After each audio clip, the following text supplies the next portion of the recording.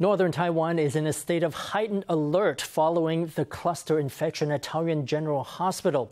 Officials have tested hundreds of people and are watching closely for wider community spread. They say they'll need to wait and see for two more weeks before determining the trajectory of the virus. If the case count stays flat all the way to February 4th, then Taoyuan may be out of the woods. If it doesn't, then officials may start looking into tougher control measures. The COVID virus is mutating, becoming more transmissible. In the latest wave of infections that hit a Taoyuan hospital, the culprit was the D614G variant, which carried the mutation L452R. Speaking to the press about the Taoyuan hospital cluster, Health Minister Chen Shih-chung said it was crucial that the public not let its guard down before February 4th. But according to National Taiwan University Hospital physician Huang Li-min, it's better to stay vigilant for longer than that. Assuming this is really the first wave, even if people get infected, it may not show up right away. Normally, you must wait until there is another wave of infections and older people get infected. They develop pneumonia and end up in the hospital where it is detected. Even after the incubation period is over, can we guarantee that everything is fine?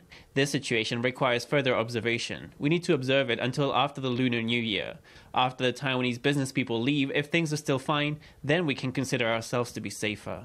According to the CECC, Taiwan is still at stage one of COVID contagion.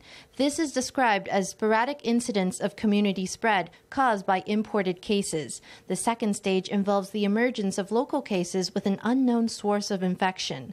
The third stage is three or more cluster infections in one week. Once Taiwan reaches that stage, there will be a ban on indoor gatherings of five or more people and outdoor gatherings of more than 10. There will be movement restrictions at the site of the cluster infections. In the fourth stage, the highest level of contagion, there will be a rapid increase of local cases, averaging more than 100 cases each day for a 14 day period.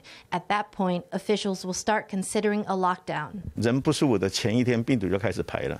The day before you feel sick, you're already emitting the virus. So actually, on that day, you feel totally fine and you have no idea you'll be sick the next day, but you're infecting the people you come in contact with. The US has already reported this. In research done nationwide there, half the people studied were infected by others who displayed no symptoms. This is the reason it is so hard to prevent the virus's spread.